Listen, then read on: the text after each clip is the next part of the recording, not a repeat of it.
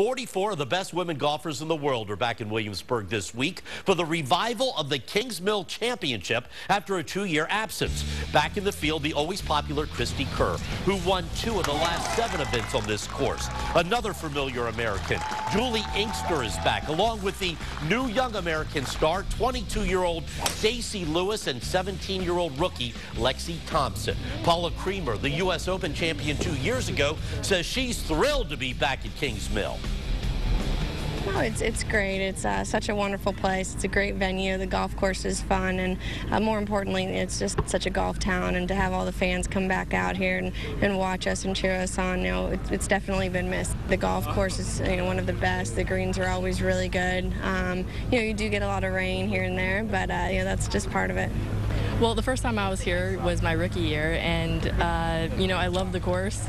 Uh, they treated us really well, this whole this whole area and this venue. So um, when they announced that we were going to come back here, I was very excited. Kingsmill, a popular course for the players and a load of great volunteers. First round is tomorrow. Next year, it will move back to its traditional May slot.